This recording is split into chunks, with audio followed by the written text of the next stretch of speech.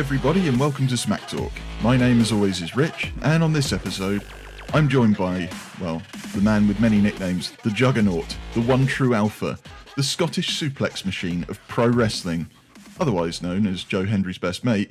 It's none other than the Dave Conrad. How are you doing, my man? I'm good, man. Thanks for having me on. Yeah, no worries, buddy. It's uh, obviously we had the conversation with Joe a couple of weeks ago, and he's you know sung your praises a lot. I've become familiar with your work, shall we say, uh, over the last few months, where I've been watching the Joe Hendry show and going back and watching your matches, and you know, generally kind of getting to know you as a wrestler and as a personality. But I thought it would be important for for other fans and fans of ours to to get to know you as well. Oh, appreciate that, man. Absolutely. Um, you know, that's that's that's why I'm doing this. Like, kind of to get the reach out and let everybody kind of get a little bit, little bit more of a little bit more of an understanding of kind of who and what I am. That's absolutely cool, man. And if I can help in any way, and, and we at Smack Talk can help in any way, then we'd be uh, glad to do so. Uh, so. Absolutely, man. All good. So, as regular listeners to the show will know, uh, I don't like to ask typical questions. Um, but that said, I do think it's vital that we talk about your background. So, when did you first realize you wanted to become a professional wrestler? Man, um, it would probably have been when I was probably when I was about when I was a child, definitely. But and it was always, you know, the, the typical thing like, oh, I want to be a wrestler when I grow up. Um, but it wasn't until I got to like, and again, I still felt like that even when I was like early teen years, and I thought like, mm, you know, that's just kind of there. It wasn't until I got to about kind of 15, 16 that I was like, I started getting a little bit bigger. Like I was quite a small child, mm-hmm. and then I started to get a little bit bigger. I got a little bit taller, and I started looking, and I started realizing that I had a little bit of um like of an athletic, like an athleticism to me, okay. and I was like, I, I could I could do this. And I started looking at like pro wrestling schools and stuff like that. Uh, yeah, and it was that, that was kind of when I started going like this this could be a thing. At the time, like even when I first started, it was still a little bit kind of unknown again up here. Like this scene was still in a little bit of a of a kind of dark period where there was really not much going on. But like back then when I was like 16, there was virtually nothing. I think there was like two schools or something. Because uh, we're talking, you know, f- we're talking over 10 years ago. Uh, I think it was, yeah. And so I did that and I figured, right, I'll just, I'll get, I'll get bigger, I'll get stronger. And it wasn't until I was like 20 that I was like, right, I'm to, I've had enough, I'm to do this. And I just decided, uh, I went to, I went to one school, uh, which was close by me, which was a bit like, uh, I don't think runs anymore. I think that this, that school's actually gone defunct. But it was a bit rough around the edges. It was a bit kind of like, mm, I'm not sure about this. Then I decided to take the leap and travel from where I'm based, Edinburgh, through to Glasgow to the Source Wrestling School. Okay. And I met with uh, who's now known as Killian Dain in WWE. At the time, he was uh, Damien O'Connor. Oh, big Damien. And he ran the Source. Yep, big day when he ran the Source Wrestling School, and I got started there. Uh, the training was unlike anything I'd ever experienced before in my life. Uh, again, I thought I was athletic and I thought that I had cardio and stuff until I did that, and I realized like, oh shit, no, oh, this is this is different, you know. But yeah, that's that's kind of what it was, and it just was one of those things where I kind of I went to training just kind of like, let's see what happens, and I just didn't stop going to training, and here we are five years down oh, the line. Man. That's crazy. I mean, I know what you mean about like the cardio thing as well, because like I um last year I did a training session with Andy Boy Simmonz. Um, mm. he was wrestling at a local show and kind of said, look, I because I did a shirt for him, and he was like, come along, have a go, see what you think. Man, I took one bump, and I swear to God, my neck for like the next three days was just agony. So like, dude, I the respect when I, I took have. my first bumps, when I took my first bumps, I thought that I was like I'd got brain damage. Oh my god! Like it didn't. It was weird for me. I had like a, I had to. Get, it was really weird for me to get over the the idea of of bumping. Like mm-hmm. actually, just like kind of actively taking my own bump. It was very very odd to me. Uh, and then one day, I just sort of went like, like uh, we were work we were working uh, like clothesline drills, and I mm-hmm. went, so I'm just gonna like throw my feet up in the air and see what happens. Just take the biggest, most over the top bump ever. And I did that, and then it felt fine. And I was like, ah, like the light bulb in my head went off. Where it was like, oh, that's what you do. You have to actually like have no fear of it. You have to just do it. and it felt it you know it felt a little bit stiff, but I was like, okay, and I started then getting the the, the understanding it more. Yeah, because I suppose it's not Yeah, really. bumps, man. Well, yeah, it's, it's not like a, it's not like a natural thing to do. Just fling yourself backwards onto the floor, is it? You know, so like I mean, No, I think it's important for like any any non wrestlers like that listen to these because you get a lot of people on on the internet, on Twitter, and all that, and you know it's quite widely regarded that the internet wrestling community is a bit sort of toxic at times, and a lot of people that are you know those toxic entities have never taken a bump in their life. So I always thought, well, it's really important for me as a, a wrestling fan to actually experience what that's like. So you know, and I now have such a deep respect for anybody that steps through the ropes on a regular basis. And and like, you know, kudos to yourself, man, because you clearly have a passion for the business and, and for sports, entertainment, wrestling, whatever you want to call it. Um, I mean, just going back through the names that you've been trained by, like it's crazy. Obviously, you mentioned Damo. There was uh, Mikey Whiplash, Robbie Brookside, who's obviously now at the Performance Center. Dave Taylor, you know, he was tagging with. William Regal, and I think I don't know, is Dave um, working in NXT UK, or am I mistaken on that one? I I know he does. I've I know for a while he was uh, he was a guest coach at the Performance Center over in Mm, Florida for quite a bit. right. He would kind of travel back and forth. So like whenever he would come back to the UK, he would uh, he would usually put the feelers out to, to local schools and go, hey. Uh, I'm coming back now. If any of you want to, you know, if we get seminars going, and that's when usually I would go. Right, this is the time to travel down south or Mhm. and go down and kind of uh, work with him. I worked with him a couple, a few times, and he was like, it was insane. He was kind of like, I can't describe it. He kind of had he had a a, a really good understanding of how the business had moved forward, Mm, but was still able to remain true to what brought him where he is. You know, true to that na- that real true nature of the business. Um, that kind of like this is what looks good. You know, footwork, facial expressions, body language, but this is how you can take those old school things that matter and move them into the modern era. He did a really good job of that. mm. Uh, another guy I trained with that really did that, and I only got the opportunity to train with him once, unfortunately, was Johnny Moss. Mm, He, he's now a full-time coach at the NXT UK Performance Center, Wow. and he was another one that again was really understanding of footwork and movement and what looks good, what doesn't. Like he would always be like, right, you can do these moves, these kind of cool moves or whatnot, if your footwork sucks, then you need to work on that first. That headlock looks looks like it needs to be needs, needs to be tighter, so we're going to work on that. You know, little things that like true wrestling fans would notice. You know, like they always said, I think I can't remember. I think it was Brookside mentioned to us, like he mentioned to me that he's like fans don't always understand what they're looking at. You know, they don't know why somebody might be good, but they know he's good. Like they can look at a guy like Regal, and they might look at William Regal and go, I don't know why, but he's just so fucking good. They'll look at him and go, he's so good. I can't, I don't, I can't tell you why he's good, but I just know he's good, and it's because his facial expressions, his striking, his footwork all look good, and it's that little kind of, it kind of goes back to the old school wrestling where you're kind of, you, you know, you're you're almost putting on an illusion of sorts. Yeah, man, totally. And actually, I'm I'm kind of jumping around the timeline a little bit, but I watched um, one of your previous matches on YouTube. Uh, it was a Reckless Intent Wrestling.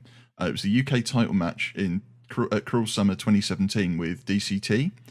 Um, Absolutely brilliant match, and and it's exactly what you were saying about there. It's the little things like watching yourself wrestle and you've got such this a, a great mix of raw physicality but the crowd pleasing personality to go with it. Like you're you know getting the there's the dueling chant going at the beginning. You're and you're getting your chant like how, higher and higher and trying to Yeah. downplay the other guy. And even though you're pointing at him it's like it was just such a great little thing.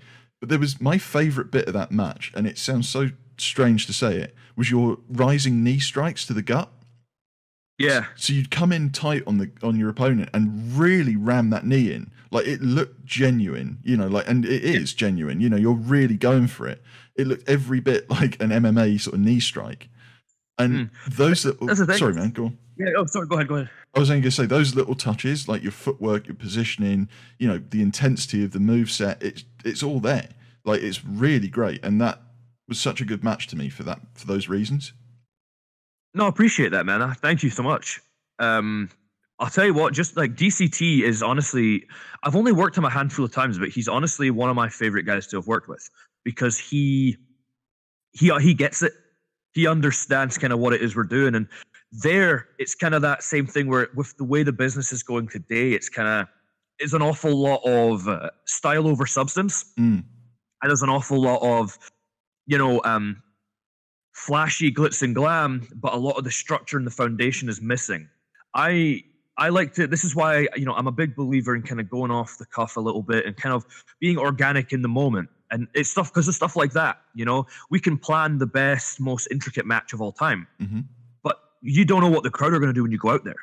You know, they might chant him, they might chant me, they might boo the hell out of me. You never know. They might end up chanting for weird stuff.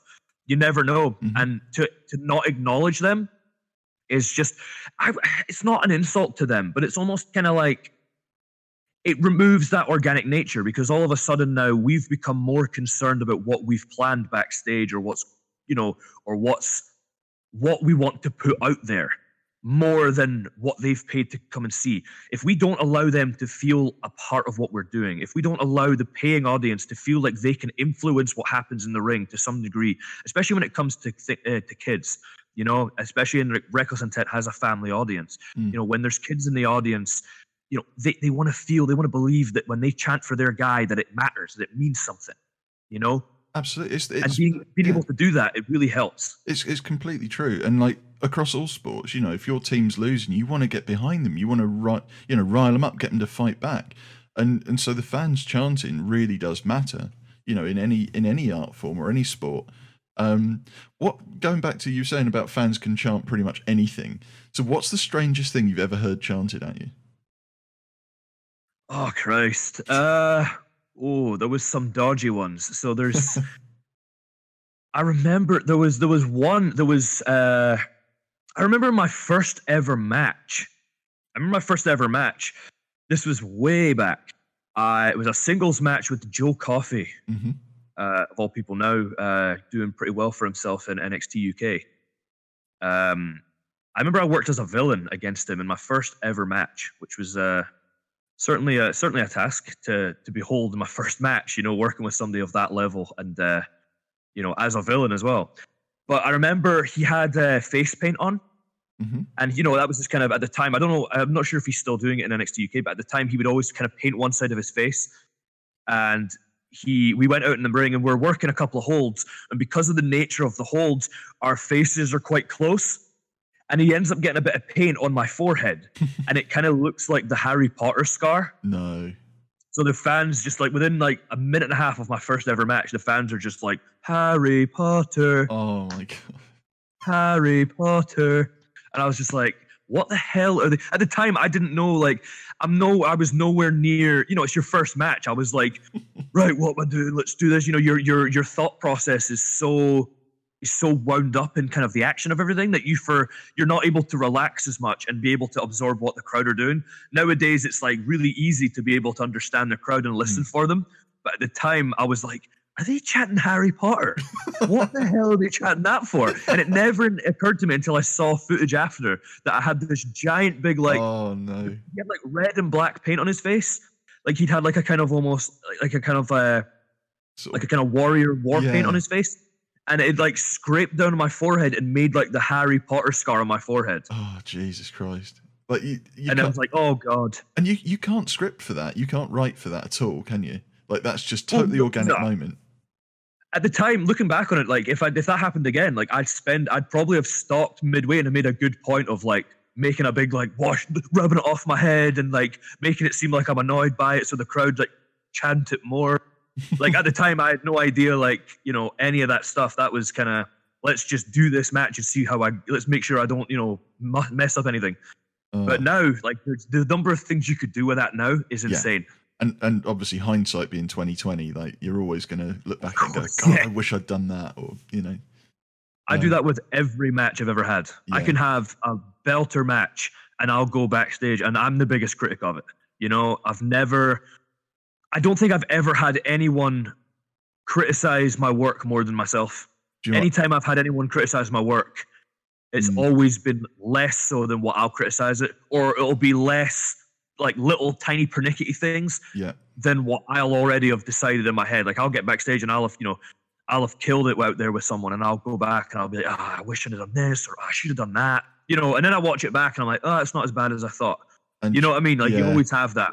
I totally I'm kind of it. always trying to chase perfection. Yeah, we all are, man. Like ev- everybody does it, and that's so tough. it is. And do you know what? It's kind of reassuring in a way. Like everyone I've spoken to throughout doing this and and through music and everything, every single person is always, oh, my own worst critic. You know, like Yeah. I've I've had a gig before where I, I play drums and I've come off stage been fuming, and I have just, really? yeah, man. I like I I finally understood what it's like to be like a musician that wanted to just trash a dressing room. I was so angry at my own performance. like I I was raging. And bear in mind this was with a Christian band as well. So it's like in a church. Christian Yeah, band? yeah, man. Oh, Like and I came off stage and I'm like spitting thunder. And this woman came over to me, bless her heart. She was like a you know, really lovely Christian lady, and she came over and she goes, Oh, that was such a wonderful performance. And I dissected the entire thing to her. just deer in headlights. Like, Yeah. oh. I was like, Oh, it was crap. And this is and the bloody thing, and I dropped my stick, and F in this, and, she's like, Oh god. and just walks like, away. well, well, well, I enjoyed it. I enjoyed it. And you're like, well, it was terrible. yeah, exactly. Oh, Christ, that's funny. Oh man. so we've we've all done it. Like it's it's just the Yeah. funniest thing.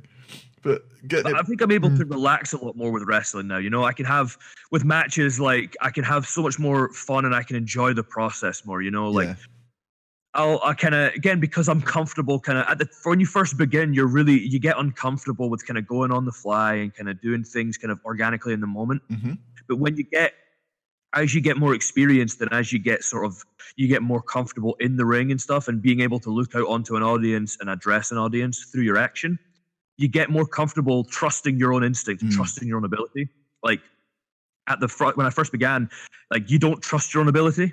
You almost always think that you're going to mess up somehow when you start to get a bit more experience you start to go like oh no like i can i'm fine with this. Ah, if we do this and this i can work us to this you know? I can get us from point a to point b no problem. I'll work us there. And you get more comfortable trusting your own ability and it's it's quite a freeing feeling you know? And that just comes from honestly to me it comes from uh it comes from first off just getting more comfortable having more experience and the kind of person that i am just you know being able to go well no i know what i'm doing and then secondly i have to say it's it comes from the training that i received you know? Uh the training i received was i was very lucky that i received the training from uh Mikey Whiplash and spe- specifically Big Damo before kind of all his WWE stuff started. Hmm uh, because you know after that you know obviously he he obviously his time was a little bit more limited when he was obviously doing a lot of uh, the stuff kind of getting scouted by WWE and stuff. But at the time he was hardcore like full-time trainer. And honestly like he was one of the he's one of the best trainers I've ever come across just because he was always about no you need to be able to do this. This has to be rooted in reality. Or why would you do that? That makes no sense. Or if that happens just do this. It'll work it'll work perfectly. And he really helped me understand that you don't have to sit and create a hollywood movie script about around a match you know? As long as it looks good and it's believable it can work Well, yeah, absolutely, man. And it's it's like the Paul Heyman thing, isn't it? Of um, you know, who who are these two guys? Why are they fighting, and why should I care? You know, and that's as simple as booking needs to be. You know, it's just put two people together. It's it's the MMA thing, isn't it? It's the you know, you get two fighters that have no storyline with each other. They're just two fighters that are both trying to prove they're the best, and that's all you really need. And I think that's a it's a it's a lost art these days. You know, it's a Mhm. lost art of just being able to go, why are these two fighting? And this is this is why they're fighting. This is why you should tune in and watch it. Absolutely, man. know- Um, I mean, just going back to your, it was your singles debut, wasn't it, against Joe Coffey? It was, yeah. Yeah. I, I'd had a I'd been in a battle royal before that, uh, yeah, which that was was that Battle Zone, like- wasn't it?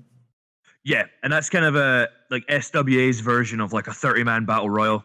Also, kind of Royal Rumble, um, over the top rope kind of. Yeah, kind of like a Royal Rumble sort of deal. Uh, most companies, uh, most companies have them, uh, and that was kind of they were, they they said to me that it was like, hey, do you want to do you want to debut in the battle zone? And I was like, hell yeah! And so I did that, and it was it, wa- I can't remember how long I was in. I couldn't have been very long, but I remember. Uh, I can still remember it pretty vividly though. I remember I came in and you just, you know, you're a house of fire, you're kind of attacking everybody, and then I remember just you get thrown out, you go backstage, and you're like, wow, that was that was awesome, and it's kind of like that that kind of adrenaline feeling. I remember that. Christ, that was long ago, man. That'll be that'll be six years in October. Yeah, it was. Um, I've I've been doing my research, my due diligence. It was October the twelfth, twenty thirteen, Yeah. Yeah. Wow. and you you came in at number sixteen. Number sixteen. yeah, and and Next middle number, not bad. right, it's a good spot. And do you know what the the names that were in that match with you? Like some of the names, it's crazy. Like you you forget when you see people on TV that they've been sort of in the indies plying their trade for a long, long time. I mean, just Yeah. some of the names. Obviously, there was uh, Joe and Mark Coffey, um, Yep. Jack Gallagher, who obviously went Jack on to Gallagher, big, yep. big things. Rampage Brown, Yep. you know, and and of course the prestigious one himself, Joe Hendry, was in that match too. Joe Hendry made his debut that same night. Yeah, we both debuted on the same night. yeah, of course. I completely forgot that it was his debut. It, that's the bit of research that I didn't do, and now look like a tool. But uh, but it's not about him. It's not about him. Even though my next question is: Given that you're best friends, was that how you first met? Eh, we we first met through pro wrestling. Yeah, and it wasn't it wasn't actually on that show. Okay. We we first met in training actually. Uh, like literally, I think two three months after I started training. Okay. So I started training in the October of 2012, Mhm. And I was training for a few months. And I think Joe began training in January of 2013. Ah, so right, literally, he he started training just shortly after I did. Mhm. Um, the thing was, I wasn't as I didn't take to the business as quickly as Joe did physically. Mm. Joe had a, a judo black belt at the time. I think he'd uh, he got his judo black belt, and he so he knew already how to kind of roll, how to take kind of bumps and things, a little kind of how to fall properly, so to speak, and how to kind of move and kind of the, the footwork of things. So he took to the business like a duck to water. Like, you know, it sounds it sounds kind of easy to say that, but he really did because I remember uh, I came so I, I travel through from Edinburgh every week, and so would Joe. Mhm. And I remember Damo talking to me and saying, "Hey, there's another guy from uh, Edinburgh just started up. Um, so you don't know if you guys want to maybe travel together or something like that, or or get chatting and see if it kind of you know see what happens." And I was like, "Oh, sound man, I'll I'll see I'll see what happens." And so I think it was in the it was I think it was the February, and I I showed up in the February to train, and you know there was a different guy there, and it, it was Joe. And I remember we go in and we're just working kind of, we'd, we'd do a drill where basically, uh, and this is honestly one of the best drills I think you can ever do, especially as a trainee, uh, is you, everyone lines up along, along the apron and you just tag in and out and you just work holds. You just work holds. And then when you're done working some holds, you tag in somebody else. They come in, they take over, and you just keep rolling, rolling, rolling, and just, uh, you know, uh, working holds. And I remember I get in there with Joe, and he's just like, I wasn't sure what to make of him because I was kind of like, and I was just starting to kind of find my footing with holds. Mm. Uh, you know, uh, I didn't know that many at the time, uh, and I was kind of like, you know, always encouraged to just kind of use my size in matches. Uh, but I was working holds with Joe, and he's just throwing out arm drags and like head mares and all these kind of cool moves, and I was like, Jesus Christ, this guy's good. I was like, I was like, this guy's only been training a month. I was like, he's really good for a month, like. And then I found out later, like, yeah, he's got the judo black belt, and like, you know, and then learning speaking to him. So one of the things that I looked for was people uh, that that took the business the same way I took it, which was seriously hmm you know, very seriously. Because you get, you know, and this is not a knock on anybody. You know, this is this is. I am honestly anybody that comes into pro wrestling to train that even they just they just want to train, they just want to get in shape. You know, they just want to try something new. I'm absolutely up for that. I think that it's an amazing thing to try. I think it's great, especially if you're a fan, to get better a better understanding of it. But the people that I drew, I was gravitated towards before the very beginning when I first started, were the people that kind of were like, "Oh no, I want to be a heavyweight champion," or in Joe's case, "I want to be WWE champ." Mhm. and it was like immediately I was like I, I resonated with that and I related to that immediately. I was like, yes, like that's why I'm here. I want to be a champion. I want to be I want to do really well with this. It's why I'd go to the gym and I'd get in shape and you know stuff like that. And um, and that night, like we traveled back on the train to Edinburgh and we just were chatting away and we realized like we're both really into wrestling. We're both into the similar style of wrestling. Uh, we were into like video games and stuff like that. Like, it was the same sort of deal, you know. We were just very, very, we were very much into a lot of the same stuff.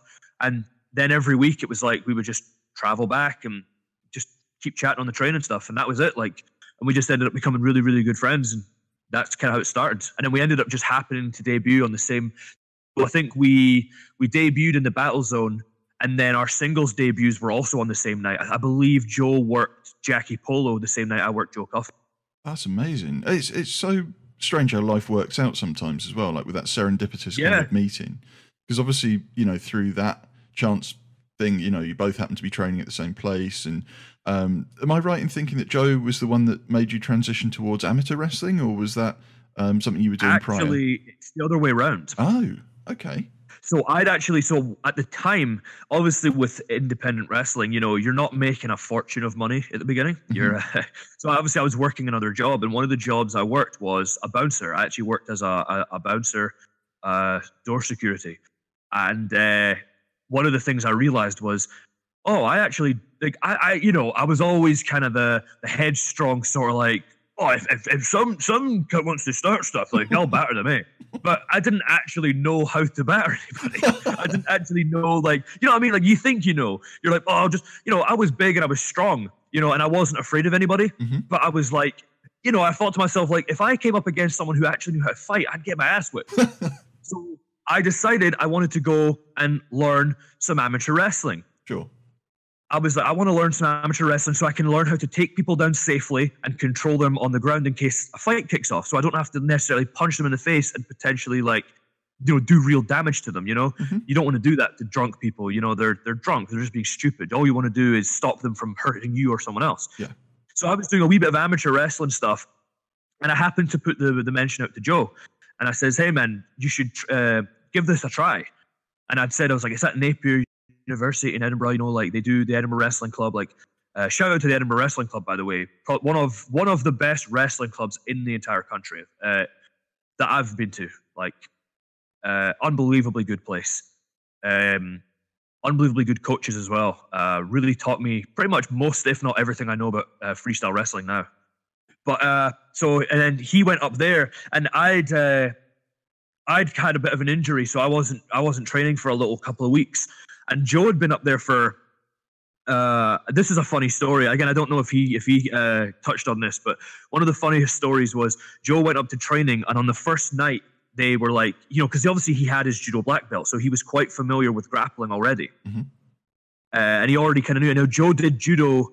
I believe Joe uh, got his black belt when the double leg, the, the double leg takedown was still uh, a, a, a, a technique within judo. Okay. So he already knew how to sort of shoot double legs and things like that. So he was already quite uh, familiar with a lot of the a lot of the sort of things that would be effective in wrestling.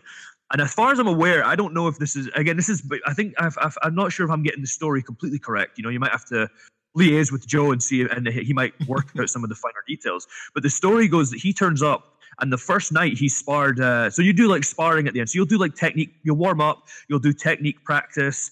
You know, and then you'll do like some sparring at the end. So like kind of live goes. You know, where you're not quite going like competition 100%, but you're trying to beat the guy. You know, you're Yeah. just on the mat wrestling basically, trying to win and score points. The the, the rumor was that Joe got on because he was bigger than everybody. Uh, they put him on with their basically like their competitive uh, like heaviest guy, like their heavier guy who was about kind of like 95 to 100 kilos in weight, Okay. and Joe pieced him up pretty much immediately. Wow. pretty much immediately, uh, Joe sort of pieced them up, and uh, they were like, "Oh, God, that's our uh, that's our competitive heavyweight right there." Um, do, do, do you want do you want to compete? within within, I believe, I think it was two or I think it was three training sessions, and already uh, within three training sessions, I believe he had gone to. He then went to the the Scottish Championships. wow. That's insane. So he took again, much like pro wrestling, he took to amateur like a duck takes to water. Like he was, and he got managed to get silver. Like, and you can crazy. find that you can find the match on YouTube. You know, he was he against the guy that took gold. He was absolutely destroying him. Joe was up. All he had to do. Joe. He jokes about it. He didn't understand the rules at the time. he didn't understand the rules, and he ended up uh, he ended up be, uh, almost beating the guy. He so in, in amateur wrestling in freestyle wrestling, you have a, a, few ways to win. You can either you've got six minute match, mm-hmm. uh, which is comprised of two three minute periods okay. with a thirty second sort of break in between. Uh, he what you do so you can you can if you could last out the six minutes, it's whoever has the most points at the end can win. Uh, if you pin the guy, if you pin the guy uh, before the end of the six minutes, or if you can get 10 points ahead of him, and they'll take it as what's called a technical fall. Oh, okay. Or technical superiority. So you basically, it's like, all right, you're you're battering this guy too much. Like Just this is, you know, kind of like the um, mercy rule in baseball, sort of thing. Basically, like a mercy rule. Yeah, yeah it's yeah. exactly like that. Okay. So Joe is eight up. Joe's eight points up. And again, he doesn't understand the rules that well.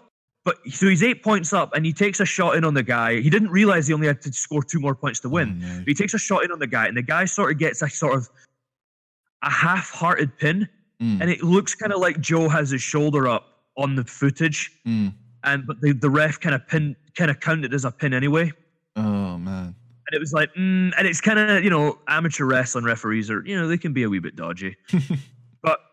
you know that when we we kind of theorized that like at the time Joe was sort of filming a pro wrestling documentary thing. Oh, uh, okay. And you know he kind of came in as the pro wrestler, and you know that's unfortunately in the amateur circles it's not great. They're not a big fan of kind of pro wrestlers coming in. Yeah. Because to them, to them, Joe Joe was just this this pro wrestler coming in and just fanning about. They didn't realize that he actually was a skilled grappler. They didn't yeah. realize he was actually, you know, a judo black belt and actually understood grappling to a high level. You know, that's no getting a judo black belt, especially at that time, was no joke. Yeah. Uh, but yeah, so within three, two, I think it was three training sessions, Joe basically almost became uh, Scottish national champion within three training sessions. That's ridiculous. So yeah, he, I, I was into amateur wrestling first, but he okay. took to it a lot quicker than I did. Oh, that's got to make you sick, isn't it? nah, man. Joe, I'll tell you what, man. He in terms of my amateur wrestling stuff, Joe has done an absolute shit pile for making me a better wrestler. Mm-hmm. Because every time I would start to get really good and I would start to be able to push him a little bit. Because we all know Joe's credentials when it comes to amateur wrestling. You know, sure. two time British champion, Commonwealth Games team member. You know, uh, he's you know he's done a lot in terms of amateur wrestling in a short period of time. But and again, I can give Joe a little bit of, of, of trouble when I wrestle him. You know, uh, I can score on him and stuff like that. But every time I would start to figure something out that would be good, within a week or two, he'd figure out another attack or another defense for it. And it would force me to go, right, now I need to come up with something new. And it's really allowed me to create this, like, a much better. Uh, a much better sort of game plan for amateur wrestling, you know, and allowed me to kind of go to big national competitions like the English Open or the British Open and take, you know, take medals, you know. Yeah, absolutely, man. And obviously, you know, we talked about Joe's credentials, but I mean, for yourself, you you know, you've got the background of, of amateur wrestling. You won the was it the 125 kilogram weight class, wasn't it? Uh, bronze medal. I did, yeah. At the British seniors last year. So last year, I I wrestled. I, I did the English Open uh, yeah. in the beginning of the year. I and I won at 97 kilos. Okay. And I won bron- I won bronze there. Mm-hmm. Uh, which was interesting. You know, at the end, that was that was kind of that was my second competition and then we then for the British Open. So I I, I trained really hard for the British Open, and I, I like for, this was when I really started to feel comfortable and more confident as an amateur wrestler, mm-hmm. and believed that I was kind of one of the better one of the best guys in the country. And I we already we were kind of sending a full team down, so we had guys at like all different weight classes from like you know 65 all the way up to you know 120. Oh man, so you were coming to take over. Well, Joe and I we're both we both are 97 kilo guys. Mm-hmm. But one thing we don't want to do is you don't want to wrestle your teammates, especially at the British Open, sure. because you know it's it's a team effort, and you know it just you'd rather it's game theory. You know, I if I want to win a gold medal, I have to take it from him, and vice versa for him. He has to win if to win a gold medal, he has to take it from me. Mm. You know, his success comes at my expense, and you know my success would come at his expense. Mm-hmm. So one of the so I weighed about 102, 103 kilos at the time. Joe was probably around about 95, 96. So he would comfortably make the 97 kilo weight class. Right. Whereas me, I'd have to cut a bit of weight for it. And I was like, you know what? Fuck it. I'm going to try 125 kilo class. Let's see what happens. So for us, I just thought that way we've got a full team. We, you know, we didn't have anybody at 125 kilos. I was like, you know what? I'll try this. And my logic was, I'll, you know, I'll, I'll kind of be able to outspeed and outcondition these bigger guys. Mhm. You know, uh, which for the most part was true. You know, for the most part was true.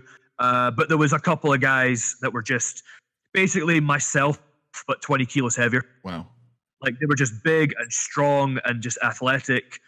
And you know, I'm able to score a few points on them here and there, but it's just it's it's you're asking your body, you're asking too much of your body to try and you know, in a in an environment where the technique where I have more technique or I'm a better wrestler, it's not that big a deal. But Mm. when these guys are at the top of the game at 125 kilos, it's like you're you're fighting you're fighting a different different kind of class of of, of athlete, you know? Yeah. And I mean, if you're Uh, shipping 23, 24 kilos to some of these guys, then Aye, man. Like I was, so I was way, I was easily by a country mile the smallest guy in the weight class, by an absolute country mile.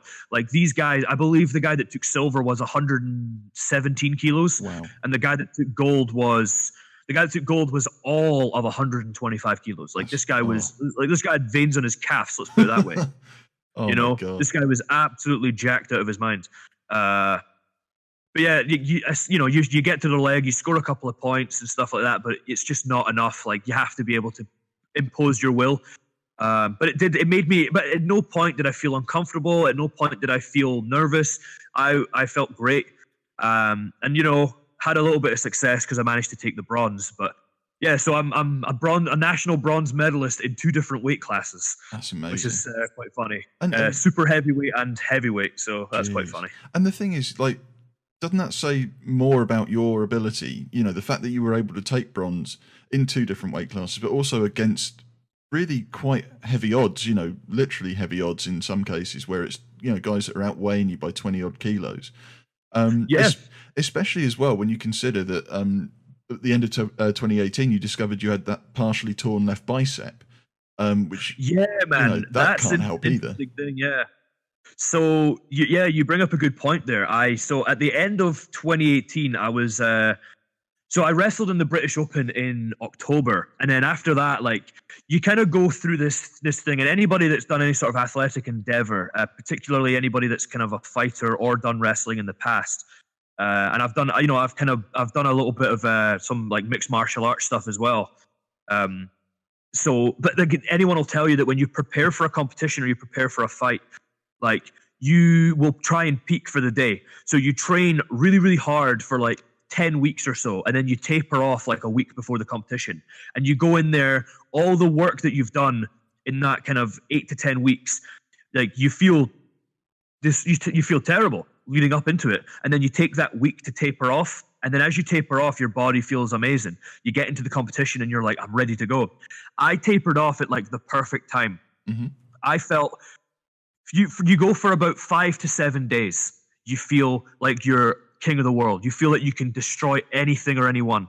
And for about seven days, about the Wednesday before the competition, the competition was on the Saturday. About the Wednesday before that, I felt amazing. I was just piecing everybody up in training. Mhm. I was destroying everyone. I was I felt amazing. I felt great.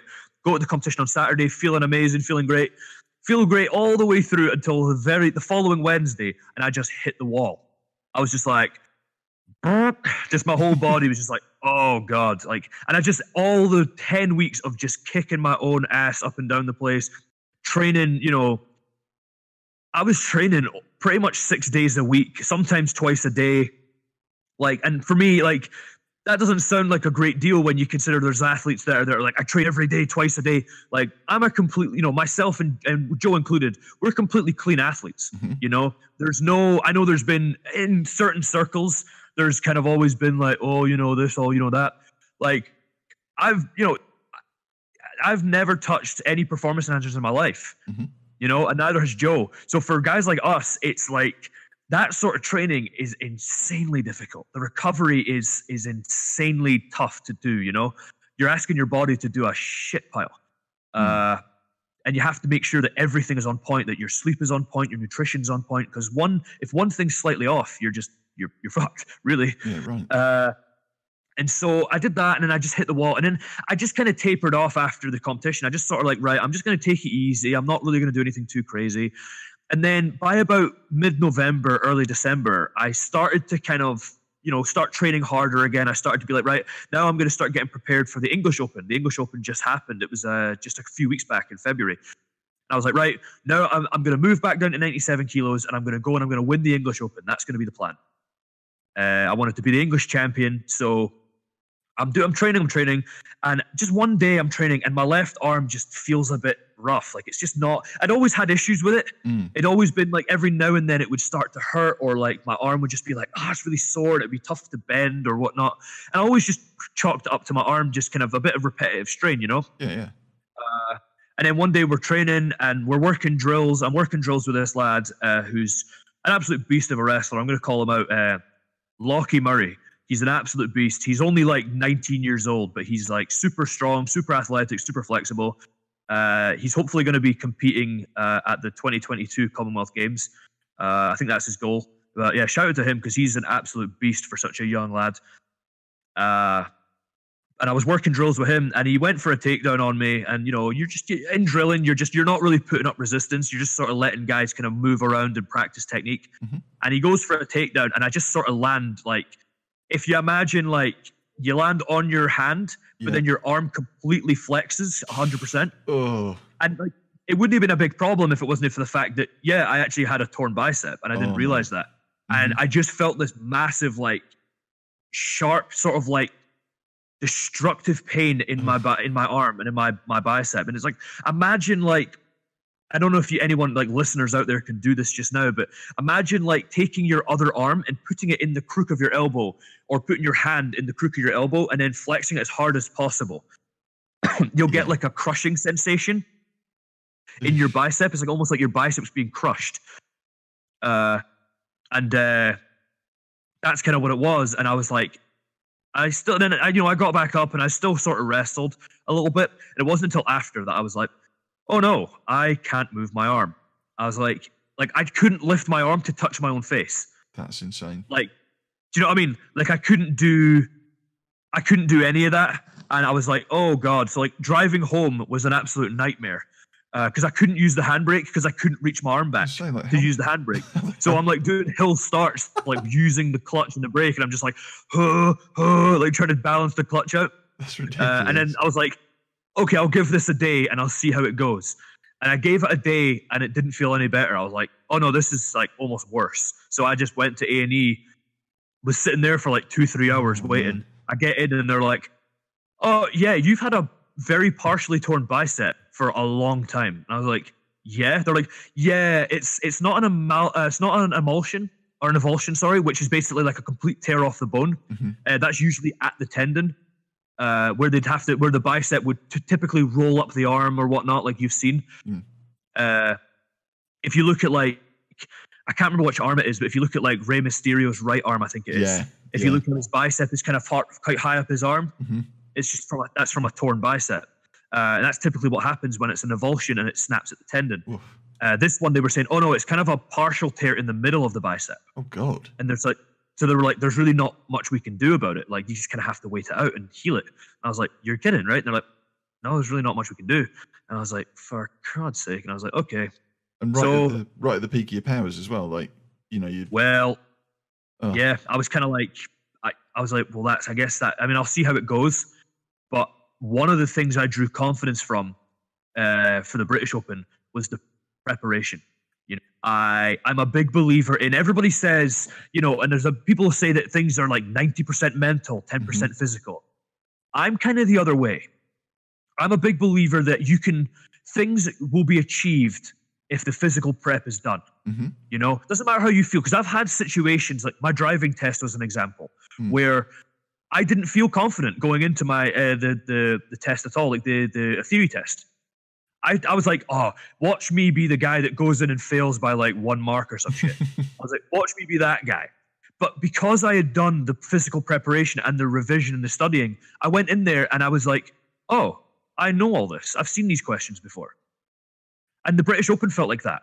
Like when I stepped on the mat, I didn't feel overwhelmed at all. Like I'd, I, you know, every, little tiny things like put, wearing your singlet in training is a Mm. big deal for me because it, it's like this is the uniform I'm going to don on the day. This is going to be the battle uniform that's going to be I'm going to be wearing when I compete. You know, uh, just those those scenarios and the physical prep is what helped me.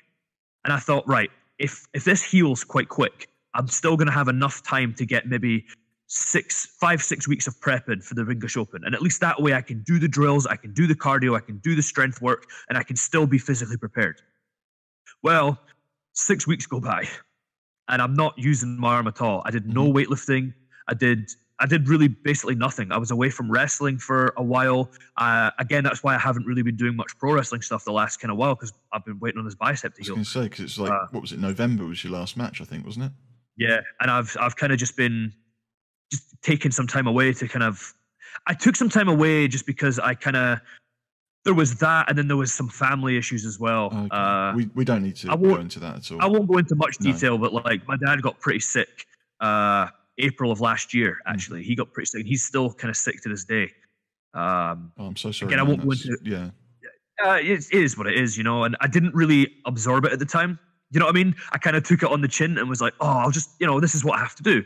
This is this is now the situation. This is now the scenario." Mhm. And I never really let myself absorb it. I never let myself sort of go, "Oh, this is yeah, this is not good." I never let myself sort of take a second to absorb it. I just sort of moved forward, and you know, I was kind of started running, you know, all the things that he did kind of around my you know my parents' home, I Yeah. started sort of doing, you know, making sure that the rent was paid on time, making sure that everything was kind of like the, the bills were paid on time, you know, making sure that everything was kind of running. And I just did that and I did that for a long time. And it wasn't until the, that injury that I sort of sat down and went, Yeah, I'm fucked. Like I've Yeah. I've not taken a second to really look, you know, I can't see the forest for the trees, you know. I Yeah. need to take myself away and just n- no pro wrestling, no amateur wrestling, no MMA, nothing, no nothing, no no weightlifting, no training, just focus on other things. And that's where I kind of got really delved into the stuff with Joe, with like uh, the podcast and the, the kind of filming of uh, you know uh, free agent stuff like that. yeah, absolutely. man. yeah, I you're right. I, the the injury was bad. It's starting to come around now. It's starting to come around now. It's probably at about 80 90 percent now Okay. like I'm confident that I could I can work pro wrestling matches with it, but like and then I can I'm wrestling again. You know, I'm wrestling pretty hard again. Uh, I'm still not back to striking stuff yet. Like I'm not doing any sort of kickboxing or Muay Thai stuff yet, but uh, or submission stuff just in case somebody tries to like put in an arm bar or something. Yeah, of course. But yeah. uh, I'm almost I'm almost back to 100. percent So you've been doing quite a bit of MMA training, haven't you? You mentioned there the Muay Thai and uh, kickboxing, and how, how have you been finding that? Like, is the transition from amateur and pro wrestling to MMA quite significant, or you know, how does that Yeah. balance occur?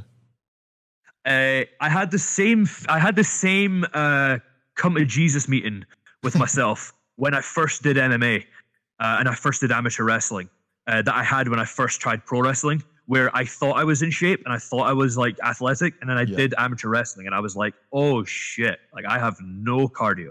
oh man, Uh, I was I'll tell you what, I I defy anybody to find a tougher sport than freestyle wrestling. Really? It's one of the toughest sports on the planet. Wow. I'm honestly, I, I mean, there probably is tougher sports. Like I'm sure, like uh, hurling or something is like tougher or something like that, or you know, but like, where you're getting like smacked in the shins with like giant, massive hockey sticks and stuff. But yeah, like, right. honestly, I believe that amateur wrestling is one of the most physically and mentally tough sports ever. It it teaches you a lot about who you are as a person. I've had a few moments like there's nothing quite like you're you've got a minute left and you're down two points and you shoot on a guy and you're underneath him. He sprawls on you underneath him and you've got a choice to make. You've got a choice to make. Either you sit there and he beats you, or you keep going even though you got nothing left. You keep driving through him and you take him down and you get your two points and win. You know, you you come to those moments where you're like, you know, you learn about yourself. Oh, that's But crazy. MMA, I did MMA first actually. I did MMA before amateur wrestling. oh, right. Okay. Um, so the club I was at, like I was at an MMA gym, and you know they did amateur wrestling stuff, but it was kind of like rough around the edges. Like they didn't really have a proper wrestling coach, and kind of you know it was what it was. They were just kind of like doing their thing. Uh, it was it was okay to learn. You know, it was good to learn the techniques and stuff.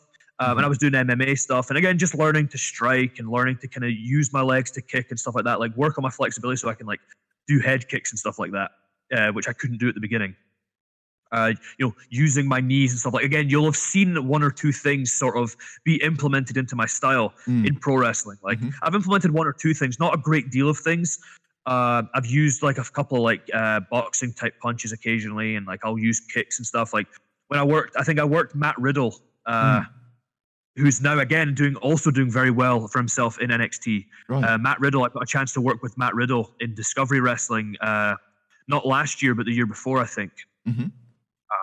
And I got a chance to work with him, and I used a lot of my uh, my amateur stuff and uh, a lot of my MMA stuff there, like a lot of the grappling and a lot of that stuff uh, with him, because again, obviously, he was probably one of the most qualified, legit shooters in the pro wrestling industry. You know, Sure. uh, and I got a re- I really got a chance to sort of delve into that stuff with him. Mm. Um, but yeah, like I, I've been doing been doing that stuff. It's, it's really fun, man. Like it's really really fun. It's really allowed me to work on footwork, flexibility, cardio. Uh, it's helped my pro wrestling quite a bit. I gonna say, like, I mean, all the techniques, and you can see it in your style. You know, with the matches I've watched of, of yours, um, all those elements there, are- it, it just solidifies you as a talent. You know, and I have to say that because it's it's true. You know, it's not me blowing smoke up your ass or anything like that. It's legit. You are a fantastic wrestler, and I, I'm looking forward to when your your arms fully 100 percent and you get back in the ring, man. Um, I appreciate that, man. that's no problem at all to say it, you know. Um, and obviously, last year um, you had your debut with ICW, and you stated to me off air um, there was something you wanted to get off your chest regarding uh, Bants and ICW. Yeah, man, it's it's really interesting. Like I, again, the Bants character was sort of it was it was probably one of the it was one of the best ideas on paper. It Mhm. really was. Uh, it was kind of it, it was really really great on paper, and it- it kind of it wasn't actually my debut. It was kind of like a re-debut because Yeah. I'd worked in ICW previously. I was going to say, like, when I was looking through your match stats, there was some stuff from like 2015, I think, and, and before. Yeah, I worked in ICW previously as part of the Gate Crashers as a Ah, tag team of course, with uh, yeah. Christopher Saint, uh, which you know. And I'll, I'll just state this for now. Like, I honestly believe that that tag team was we could have been the best in in in the country. I Mhm. honestly think that we could have been the best tag team in the country. Uh, unfortunately, it didn't work out that way. Kind of, he had other ideas. Mm. Um, you know, shit happens. But uh, so yeah, I worked at ICW previously, you know, and I was kind of unceremoniously just kind of you know things didn't really work out. So I kind of Joe kind of was like, hey. We have this idea, uh, you know. We, we were kind of Bants kind of came around when we were we were out one night. We're all it was me, him, I think, uh, Joe's brother and his cousin, and we're all just sort of chilling and we're all having a laugh and whatnot. And we're talking, and uh, and I end up coming out with something. I can't remember what it was. I was like, I said, I said something along the lines of like, "Oh, when it comes to women, I'm all about the banter, eh?" Something like that, or I'm all about the bants, and they're just like, "Holy shit, that's funny as hell." and Joe comes to me like a week or two later, and he goes, "Dave, what do you think about this idea of this character called Bants?" And I'm like, "Okay," and he goes, "He's basically just." He's, he's basically we're going to build him up as like this guy loaded with charisma. He's like an expert at everything. He's like super phil- philosophical and like really intelligent. But whenever he talks, he just says like two things, or he just says like one thing, just like got it. And I thought, okay, that's actually a hilarious idea. And we we built it up. The idea was because so, and again, this is just again, I don't know if this is the general perception, but this is Mm. kind of the perception I see is that in pro wrestling, I'm a very I'm a good worker. I've got a good physique, but Dave Conrad can't talk. Dave Conrad doesn't have a personality. He doesn't have any character. He can't talk. That was kind of the the perception, you know. And in pro wrestling, unfortunately, perception is reality. Ah. Uh, so we thought, well, this could be a hilarious. Uh, this could be a hilarious way of kind of like an in joke on the fans. Kind of like, oh, Dave can't talk. Okay, then he'll say one thing. And that was kind of the that was kind of the funny story of it, you know. And we had so many scenarios that we were going to do, like hilarious things that we were going to do, where it's like Dave will just show him, and eventually over time. So the idea was it was going to start the way it started, like you you know you've seen an ICW where it's like we build up that like oh he's so charismatic, he's the most charismatic individual on earth, and then I just go all right, and everyone's like what the fuck. Uh, the problem was live audiences didn't get it. Yeah.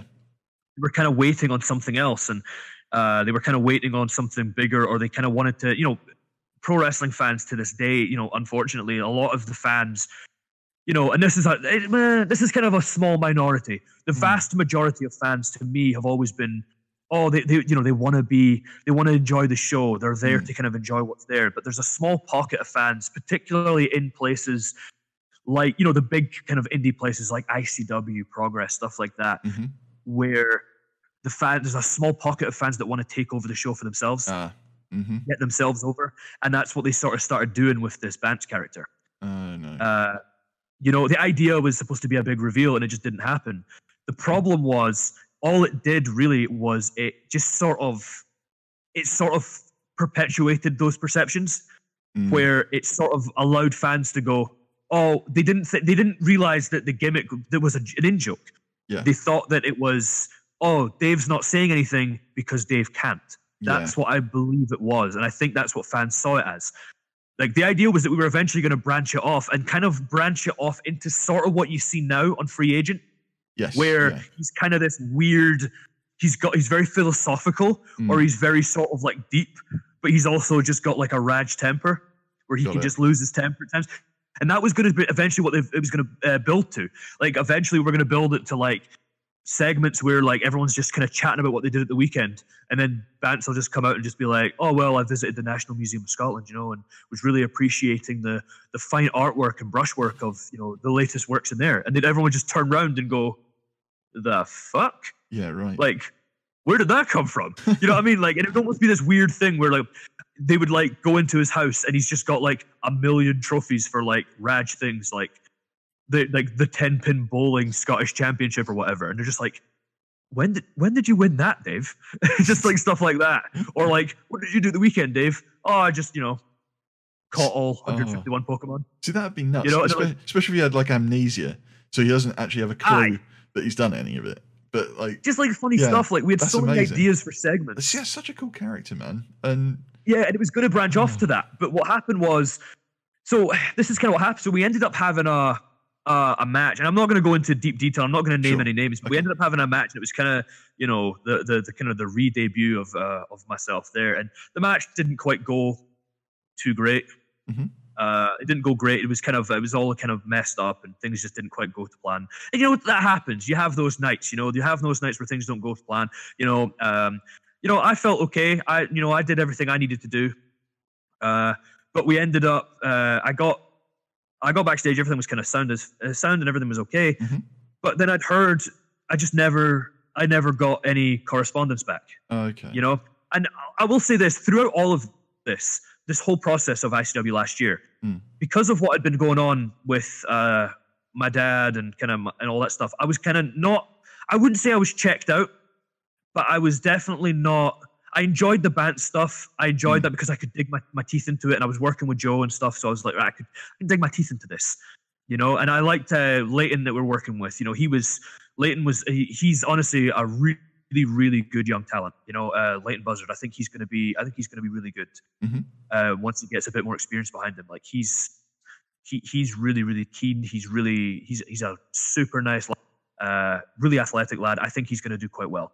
Uh, really gets he gets it. You know, he gets Yeah. the humor. He gets the he gets the sort of being able to kind of poke fun at himself as a character. You know. Um, so working with him and Joe was obviously like great fun, and we were having a blast with it. Like we were having a laugh, I just I wasn't really pursuing other things with wrestling. I was just sort of like seeing what came my way. That's and, uh. Yeah, and um, so and, and so I had no correspondence with ICW throughout that entire thing. ICW never spoke to me once. wow. Uh, they never messaged me. They never gave me any dates. I, everything I got, I got through Joe. I got I got told where to be, when to be there uh, through Joe, and then they were doing a gimmick at the I believe it was Shug's Hoose Party last oh year, yeah, yeah. and uh, it was going to be Joe versus uh, Renfrew in a street fight, I Mhm. believe it was, or it was like a Glasgow street fight or something. Okay. And the idea was it was going to be Joe by himself uh, doing this. He was like, I'm going to do this by myself in a, in a gimmick. That was the idea uh, from a character standpoint. Uh, and uh, so obviously I wasn't going to be there. Um, and then, but I think Leighton did show up at one point. And then after that, I kind of went, ah, yeah, yeah that's kind of, yep. Mm, a and they've real kick in the never they've never spoken to me about it since. Like they've never spoken to me about it since. They've never uh they've never I've never had any word from them. Uh, you know, things kind of went awry in that match, and unfortunately, I don't think anyone ever asked my side. You know, Yeah. no one ever asked my side of it. Uh, no one ever asked my opinion on it. I just sort of, you know, unceremoniously kind of cut, and it was just like, there you go, Wow. see you. And I was like, oh, well, that's just terrific. You know, Yeah. I mean, at least Uh, at least uh, WCW, you know, Eric Bischoff sent out a fucking FedEx. You know, Like, I know, yeah, I know. I mean, it is what it is, man. Like, I'm not really too. I was a bit pissed off about it at the time, like just because I didn't, you know, I don't mind if if that's the case. mm, If that's the case, it's like I don't mind, but let me get my side of the story out. You know, what I mean, let me let me explain my side of it. Let me let me defend myself a little bit, rather than someone. You know, my my my my my thoughts are that someone's mentioned something to someone right. and you know as the kind of unfortunately as the sort of quote unquote new guy in town so to speak i've kind of taken the brunt end of it yeah. despite the fact that kind of you know i i did everything i could in that match to do to you know Yeah, what could do exactly. you know I think it sounds. but it is what it is, yeah. you know. I'm not really that I'm not really that fussed about it, but I just think it's important that I clear the air with that because I think it's unfortunately in indie wrestling, especially here, what tends to happen at the bigger companies tends to trickle down to the smaller companies. Right. And people tend to look at the bigger companies as, well, why is that guy not there? Or how come he was there but now he's not there? What happened there? Exactly. And instead of instead of checking out these things or or speaking to someone and finding out what happened, they tend to just kind of go off of what they, you know, the perception. As I Yeah. said, perception is reality, unfortunately. So the perception was Dave can't talk, uh, and apparently he's not good enough in matches either because he got cut from ICW unceremoniously after one match. Whereas it's it could not be more different. It could not be more opposite to what happened. and that's that's the thing and anyone that's seen your work knows how much passion and even listen to the you know this when people listen to this back they're going to hear how much passion you've got for the industry and you know obviously that now comes across in free agent which uh, you know launched on march the 1st and has been running now for a little while um, i Yeah. personally think it's absolutely bloody brilliant um, been watching Yeah, it I- thank you. oh mate honestly i've not laughed so genuinely hard in my life as there's just moments in that show where you come off hilariously. And Joe even said when we spoke to him a couple of weeks back, um, obviously the show is yourself, Joe, and his brother Jabacus or Jake. Um, Yeah. Jo- Joe actually alluded to this on the podcast. He said that fans consider you to be one of the funniest parts of of your podcast and certainly of of Free Agent, um, and that definitely comes through. But do you find like obviously, you know, Joe's your best friend, and and we've you know you've put him over a great amount in this in this podcast today. Um, how how do I phrase this? Because obviously it's difficult knowing how close you are to Joe, and obviously that's that's come through in free agent as well. But I mean, do you feel he holds you back at all? Like, are you in his shadow, or how, you know, how do you feel about about working with somebody who Whoa, comes whoa, off whoa, so? wait, wait, wait a minute there, uh, Rich. You you can't be saying that about Joe.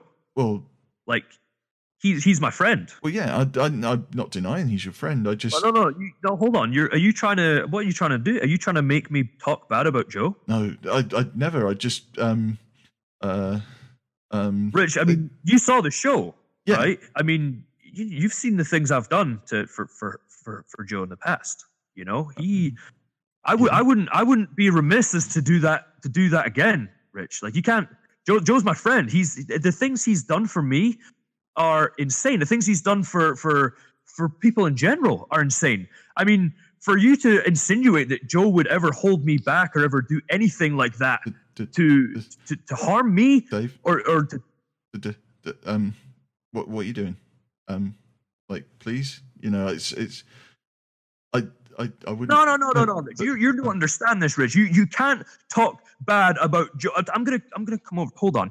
You you can't talk bad about Joe like that. I'm not gonna sit here and allow you to insult my best friend like that in front of my face. Are you are you serious? You bring me on your show and you want to do an interview with me, and then you decide you want to try and and and, and you want to try and insult Joe to my face. I mean, how much gumption do you have?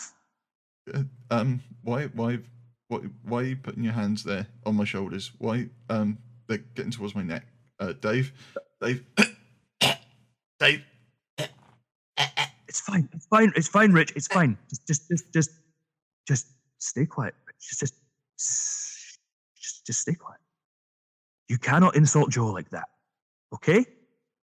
He has done so much for me and others. All right? Okay, I'm going to let you go now. Okay? Hopefully. Okay, there you go. There you go.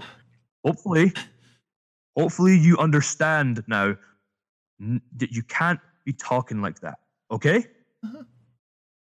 Okay. To answer your question, no, I do not believe Joe has held me back. He has done so many things for me, for Jake. Jake himself has done so much for me. I am I am enjoying I am enjoying what's happening. Okay. yeah. Um. So we like to end these. excuse me. Uh, these podcasts. Oh my god. Just sip some water. on a on a positive. There you go. Drink drink Yeah. that down. Drink that. Whew. Thank you for for. You're gonna be okay. You're, Yeah. you're gonna be okay. Thank, Like, thank, you for. Edu- I, I'm sorry, man. No, I, I'm no, no. sorry. I, lo- I lost myself a little bit there. You, you just fine. when I- you I was when you talk bad about Joe like that, I just my, my mind just goes into another another Mm. another place. You know, you can't. You, you, I'm I, I do apologize. No, no, I'm sorry. please. It's it's me who That should was- apologise. That's that's too too much. Um, let me rephrase. Free agent. excuse me. Free agent is a, a massive success. Um, and we like to end the podcast on a on a positive. Is there anybody um that you'd like to put over that doesn't normally get a shout out? Um, in terms of free agent, I would like to put over. I'd actually like to put over uh, uh Joe's girlfriend Sophie. Okay. done, she's done a lot of uh, she's done a lot of work uh, behind the scenes people didn't see. She's doing a lot of work behind the scenes with uh, not just with free agent, but also with the Patreon and stuff that people uh, don't get to see. Um, but she, yeah, so she's doing a lot of work there that you know, as I say, it's not on camera, so to speak, so people don't understand it. Um, but I just want to put over everybody on that show. Joe, Joe's ideas are brilliant. Uh, Jake, he- again, he's another one whose ideas are fantastic. His perspective on things is great because sometimes being an outside, being outside of pro wrestling allows allows him to look at things in a different perspective. Um, so that's you know, I, I'm just to be honest with you, I'm just really thankful to be part of this show because it's uh, it's going to finally allow me to showcase what I can do. You know, showcase to audiences that yeah, Dave can talk, and yeah, Dave does have a personality. You know, a lot of that stuff is improv. You know, we don't sit and, and, and write a script out or whatnot for free agent. It's it's a lot of it's improv. Like you'll have seen from you know anyone that's got the Patreon. You know, uh, subscribe to the Patreon. I think it's uh, it's Patreon.com/slash Joe Hendry. If you join the Patreon, you'll find like bloopers and stuff and outtakes and stuff from uh, parts of it, which are brilliant. Like we end up bursting out laughing half the time because the ideas are just so ridiculous and off the wall. But uh, yeah, I, I, I'd put, I'd put over just everybody behind the scenes that's that's working on it. Um, Joe as well. Joe doesn't get enough credit for exactly how much work he's doing behind the scenes and that. Like he's on the show and they see kind of what's out there, but you know he's editing it together and he's adding in music and stuff like like. I just I just show up and, and put my ideas forward and then and and then what needs to be done. It- You know, uh, Jo- he's Joe- the one that's really the mastermind behind everything. Joe really is fantastic. I and yes, and I I fully understand that now. Um, how just how great he is. Um, and and all Well, of you guys and yeah, I'm I feel I feel more educated having spoken to you, spoken to you today. Um, so I just got to say thank you for for your time. Uh, thank you for coming on the the, the show. Thank you very much for having me. Honestly, this has been a blast. Yes, yeah, definitely. Um, it's been an experience um, for myself as well. Uh, I feel we got very close today and had a good conversation. I, I, I think uh, I think closeness is good. Mm, I think closeness. So um, yeah, just re- just remains to say uh, thank you for listening. Um, obviously on YouTube now, also on SoundCloud. Um, if you'd like to subscribe, please do so. Uh, ring the bell to be notified of anywhere, um, anytime that we excuse me upload. Um, where can where can we find you on on socials, Dave? So if you're looking for me, I am the Dave Conrad on Twitter. Give me a follow. Uh, I am Dave Conrad official on Facebook and Instagram. Um, check out Free Agent on uh, youtube.com slash Joe Hendry, free agent. The first episode is up. Join the Patreon to immediately get access to episode two, as well as bloopers of the show and many, many other benefits. We have multiple tiers. There's plenty of content out there for anyone who's a fan or anyone that wants to support us and support the show. And that's at patreon.com slash Joe Hendry. Um, yeah, any of that stuff, subscribe to the YouTube, join the Patreon, follow me on the social media, um, and we'll keep you updated with what's going on. You know, not only with that, but for me, like update on my pro wrestling stuff. I've got some things in the works. I've got some things in the works. I've been kind of sitting on my hands for a little bit, but I've got some things in the works coming up, and I'm I'm excited for the prospects that 2019 is going to bring. Uh, so if you want to be a part of that and you want to keep along with it, follow me on social media. That's the Dave Conrad on Twitter and Dave Conrad official on Facebook and Instagram. Yeah, definitely do that, and uh, you know, show Dave a lot of love, um, and Joe and, and the gang. And uh, as I say, obviously, thank you for listening to the podcast today. Thank you, Dave, for joining us. Thanks so much for having me, man. No worries, man. Uh, always a pleasure. And um, yeah, subscribe, ring the bell for notifications when we upload. Head over to smacktalk.co.uk to pick up merch from our store. Uh, anything you buy helps us provide new and diverse content by supporting the show. And yeah, we'll see you on the next one.